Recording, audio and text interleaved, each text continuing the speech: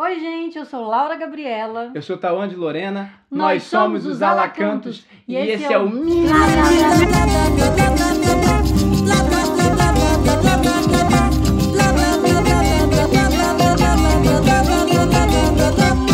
Hoje é dia de rock, bebê! Vamos aproveitar que esta é a semana do rock, dia 13 de julho. Não sei quando você está assistindo esse vídeo, mas nós estamos lançando ele na semana do rock. Sim, pra fazer. Sim, pra fazer. De bandas de rock que influenciaram a gente durante a nossa adolescência. E a gente vai começar com Raimundos. Gente, Raimundos. Gente, eu e a minha melhor amiga, a gente ouvia no, no quarto Raimundos a, a todo volume. E eu não. Gente, eram duas meninas. Eu acho que eu tinha na época, tipo, uns 10, 11 anos, sei lá. E eu ouço as letras hoje, cara. Eu fico. Como é que a gente conseguia cantar aquelas paradas? Não cara? passava, hoje não passava. Hoje não passava, não passava. Mas. Aliás, várias letras hoje não passariam. É, não passaria de jeito A galera nenhum. ia ser cancelada em dois segundos. Mas, é, nossa, eu, eu me lembro de ter passado momentos muito divertidos ouvindo Raimundos com a minha melhor amiga no quarto. Tem uma história engraçada dos Raimundos porque a minha mãe escondeu um CD meu dos Raimundos. Cara, e o CD nunca mais apareceu. Eu não sei se ela jogou fora. Até hoje eu não sei onde é que tá esse CD. Porque tinha alguns palavrões. É, algumas coisinhas assim, um pouquinho. Segunda, A segunda banda é Iron Maiden. Que na verdade, cara, tu lembra quando a gente tava com o Joe, que a gente começou a tocar. Eu acho que foi até o Wasting Love. E aí ele. Eu não sei se ele não reconheceu, ou se ele não era muito fã de Iron Maiden, e a gente falou assim: não, mas essa banda, essa banda, claro que você conhece essa banda, Iron Maiden, Iron, Iron Maiden, Iron Maiden. Aí ele, ele de- de- depois de, sei lá, uns 10 minutos, ele, ele entendeu, tipo, qual banda que a gente tava falando. Ele, aí ele falou, tu lembrou disso? Sim. Aí ele falou assim pra gente, não, é porque Iron Maiden. Eles não pronunciam o R, né? Iron Maiden. Aí o se cara, falar Iron Maiden pra gente, a gente vai falar o quê? Oi? Oi. Quem? E uma coisa muito engraçada da, da, da minha relação com a Iron foi que a primeira música que eu tirei de ouvido, porque naquela época, Porque naquela época tipo, não era tão fácil você pegar na internet e saber como tocava a música. Hoje em dia tem vídeos que mostram passo a passo, é, tipo, como você vai tocar aquela música. E Sim. foi a primeira música que eu tirei totalmente de ouvido, os dedilhados e tudo, foi Wasting Love. Não foi a minha primeira música a tirar de ouvido, não, mas foi a primeira música que eu vi é, a diferença que fazia o overdrive Hum. na, na vida de um guitarrista. É, Porque né? eu comecei, que não- eu tirei e falei assim, caraca, por que, que não tá suando de jeito nenhum? As notas estão certinhas e não tá suando de jeito nenhum igual os caras tocam, o que que é? Aí quando eu botei o overdrive, eu falei, porra. Era distorção. Então, a terceira banda que a gente elencou não é hierárquico, e não é hierárquico, tá? não é hierárquico. E não é hierárquico? Não é hierárquico, tá, gente? É, a gente não colocou em ordem de importância, não. Mas a terceira banda é Metallica, que foi, na verdade, uma das bandas que eu mais ouvi na minha adolescência, principalmente é, com 14, 15 anos. E teve um álbum que eles lançaram, inclusive acho que foi até em 99 ou 98, que era com a Orquestra de São Francisco, era um álbum duplo, e eu ouvi aquele álbum à exaustão, assim, acho que foi um dos álbuns da minha vida, assim, que eu mais ouvi. E meu primeiro namorado me ensinou a tocar Nothing Else Matters e foi bem marcante isso pra mim, assim, que foi uma foi um salto, na verdade, no meu aprendizado de, de violão. Ah, Tipo, é- essa música, quando eu aprendi a tocar ela, sabe aqueles momentos assim, tipo, antes eu não tocava um monte de coisa e a partir de agora eu consigo tocar um monte de coisa porque eu tirei essa música. Ah, esse momento pra mim foi com Hotel Califórnia. Eu falei assim, caraca, zerei a vida quando eu tirei Hotel Califórnia. A próxima banda é Angra.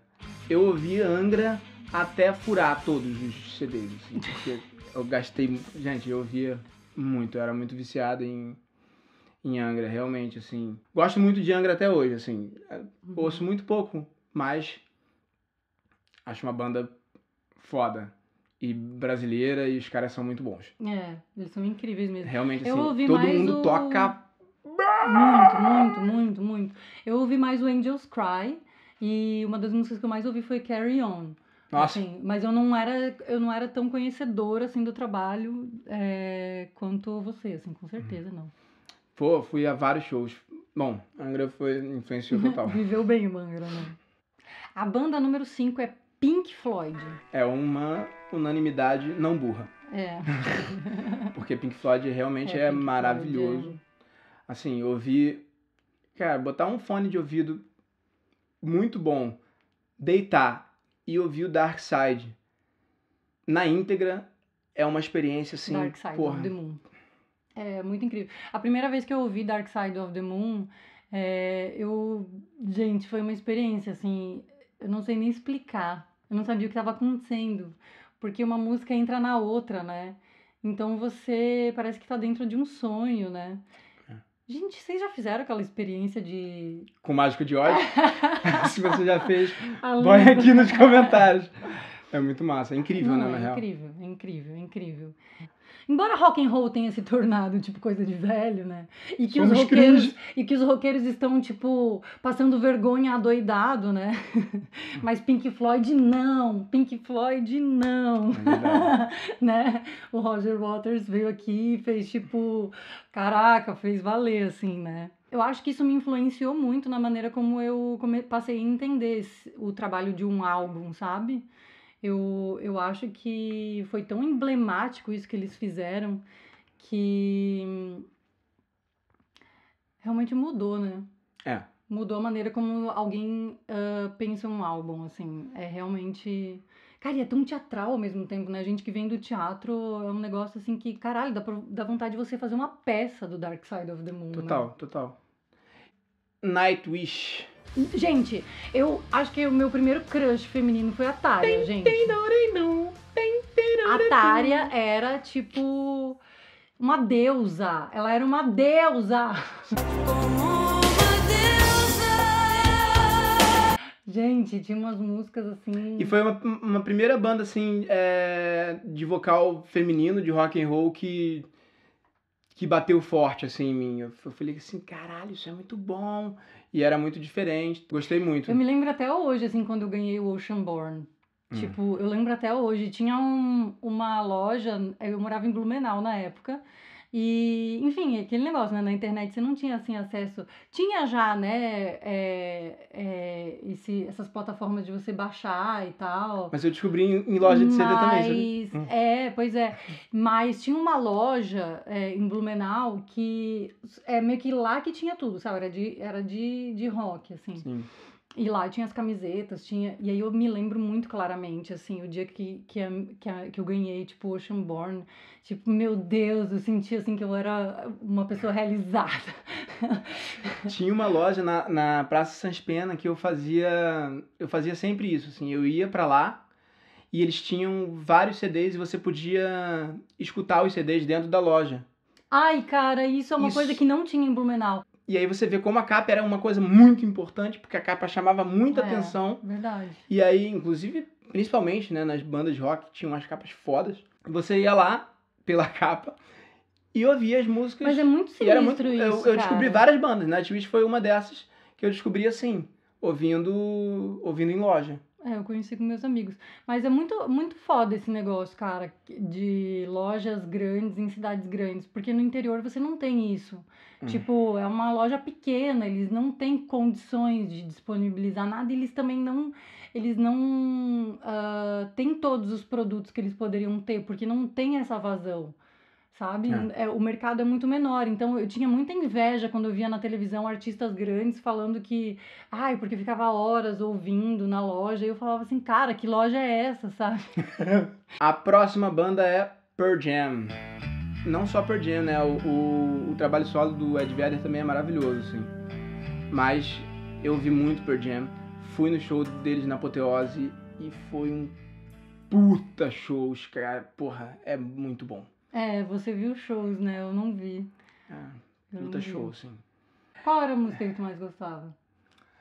Ai, eu gostava muito de Van Flow. Even flow, thoughts arise like butterflies. So we don't know. quê? Empolgação total. Cringe. Então, gente, a propósito, aqui no meio do assunto, tá vendo essa make? Hum? Tá vendo? Linda, não é mesmo? Thay Genari, gente. Maquiadora linda, maravilhosa, pessoa incrível. Fez especialmente pra gente, pra esse episódio do rock. Yeah! Segue ela no Insta, arroba Genari, tá? A gente vai colocar aqui. Hashtag publi. Uh! A próxima banda é Guns N' Roses. Guns. Como ah. tava a sua fase? Não, eu tive muitas fases, gente. Eu tive uma fase. Eu, eu, eu era muito rock and roll, né? Assim, eu tive uma fase que eu era. que eu fui muito gótico e andava de sobretudo com 40 graus. Rio É, de Janeiro, no gente. Rio de Janeiro. Era estranho em Blumenau. Amor, em Blumenau também faz calor, você sabe disso. Mas faz mais frio que aqui.